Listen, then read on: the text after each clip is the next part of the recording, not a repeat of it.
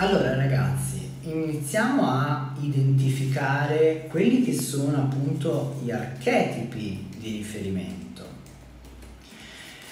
Abbiamo detto sono 11 archetipi e ve li riassumo prima di cominciare. Abbiamo il numero 1 che è l'archetipo del guerriero, il numero 2 che è l'archetipo del fanciullo, il numero 3 che è l'archetipo del giullare, il numero 4 che è l'archetipo del costruttore, il numero 5 che è l'archetipo, del cercatore, il numero 6 che è l'archetipo dell'angelo custode, il numero 7 che è l'archetipo del saggio, il numero 8 che è l'archetipo del sovrano il numero 9 che è l'archetipo del liberatore e poi andiamo ai numeri maestri, quindi il numero 11 eh, che è l'archetipo del genio e il numero 22 che è l'archetipo del creatore. Ma iniziamo ad analizzarli eh, singolarmente. Allora, eh, partiamo dall'archetipo del, del guerriero, quindi il numero uno. E qui già vi, vi dico una cosa importante, nel senso che ehm, se voi siete nati il primo di gennaio, per esempio, no? o non so, eh, il 19 di dicembre e quindi 1 più 9 10 e quindi 1 più 0 1, quindi qualsiasi somma del vostro giorno di nascita dia in definitiva 1, questo rappresenta per voi il numero psichico, ma questo poi lo andremo ad analizzare, però giusto per uh, farvi un attimino prendere dimestichezza con questi archetipi. L'archetipo del guerriero Beh, il guerriero, vi ho messo subito una slide di riferimento dove potete vedere varie informazioni, c'è ovviamente un'immagine simbolica del guerriero. Anche molto bella direi. Sì, perché poi alla fine eh, tutti questi archetipi rappresentano il viaggio dell'eroe. In questo caso è questo eroe che combatte con il drago, no? E il guerriero incarna in maniera eh, perfetta questo tipo di archetipo. Beh, l'archetipo del guerriero rappresenta la forza, l'azione, il coraggio, ma è anche un archetipo ricco di tantissima autostima e diciamo sua, nel suo aspetto più di ombra rappresenta anche la ribellione. Chi è influenzato maggiormente da questo archetipo, diciamo che ha un bisogno di libertà, di indipendenza, e soprattutto a questo istinto quasi innato a dover conquistare, a dover eh, diciamo avere sempre qualcosa di nuovo da poter costruire, da conquistare, da fare, perché è appunto un guerriero, per cui la sua natura, la sua indole eh, più profonda è proprio quello di combattere, combattere per affermare se stesso, combattere per sconfiggere dei nemici oppure combattere per un ideale eh, più grande. Diciamo che il numero uno di per sé, quindi chi è influenzato maggiormente da questo archetipo, può anche risultare un soggetto piuttosto solitario, no? Quindi solitario non esclusivamente per... Uh, perché magari è timido, assolutamente no, perché comunque l'archetipo del guerriero ha molta audacia, molta iniziativa, quindi solitamente non è un soggetto timido, ma può essere un soggetto solitario perché magari ehm, conta troppo su se stesso e quindi ha difficoltà anche a chiedere l'aiuto del prossimo, ad appoggiarsi a qualcun altro. Ehm, e quindi solitario in questi termini. Difficilmente un numero uno ha eh, l'abilità di entrare in una dinamica di squadra perché è un pochino accentratore, no? è un pochino anche se vogliamo egocentrico il numero uno, quindi cerca di fare un po' tutto, un po tutto da solo.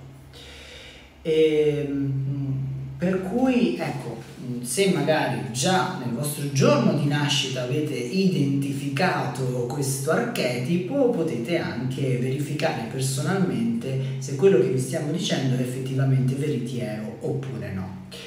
Poi c'è da fare una differenza tra numeri pari e numeri dispari e quindi in questa sede dove siamo proprio all'inizio di questo corso è opportuno fare questa distinzione.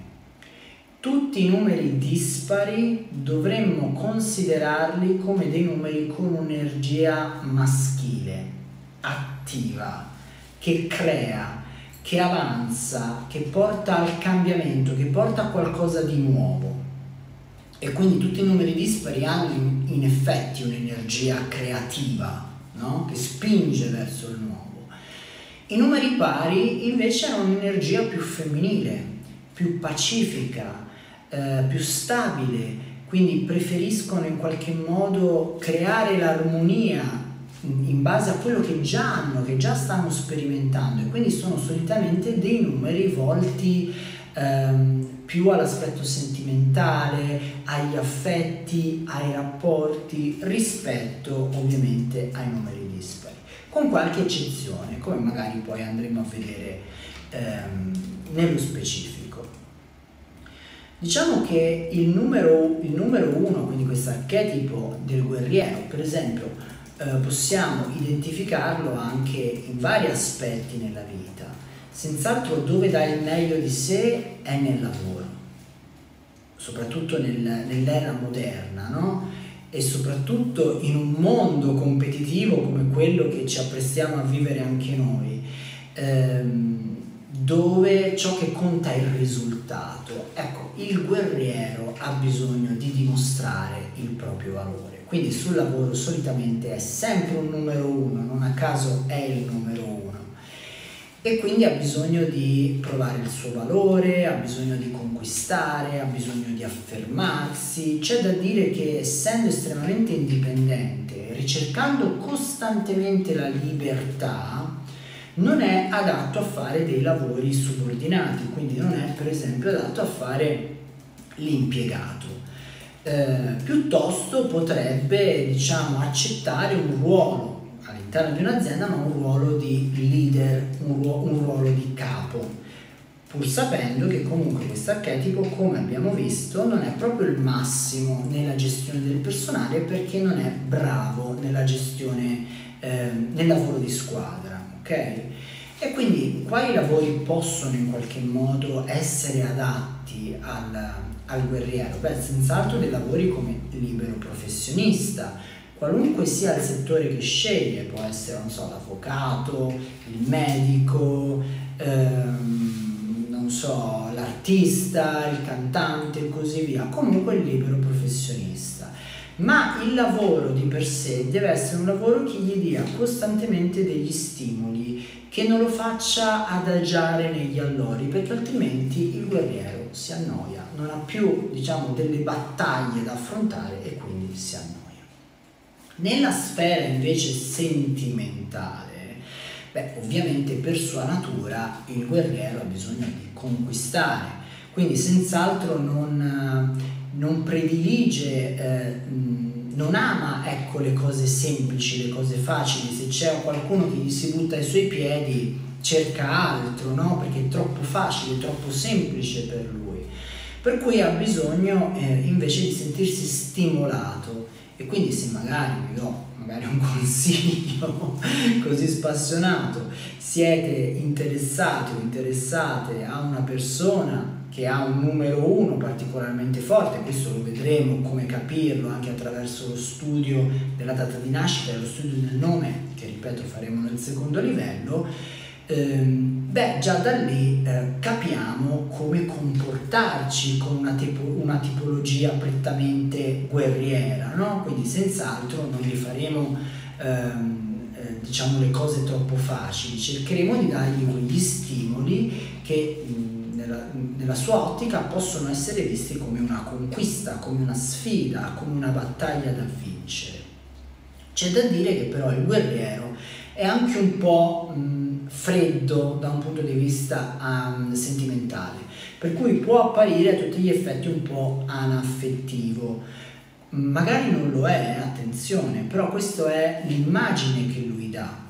Essendo mh, prettamente concentrato sulla propria carriera, sulla propria realizzazione, può eh, in qualche modo dare l'idea di essere poco, alla poco interessato alla vita affettiva e ai sentimenti in generale. Detto questo, c'è da dire che comunque il guerriero è comunque solitamente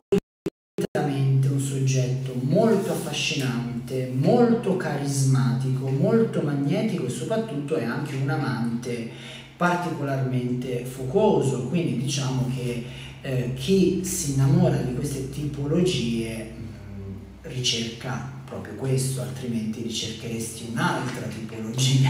No? Ovviamente tutte queste caratteristiche dei numeri che stai elencando sono in maniera più sintetica all'interno della dispensa del sì. corso, no? che potete, se non l'avete già fatto, scaricare e troverete numero per numero tutte le descrizioni. Bravissimo, eh, sì perché appunto nella dispensa trovate anche mh, diciamo la descrizione dell'archetipo in generale che è quella che facciamo noi.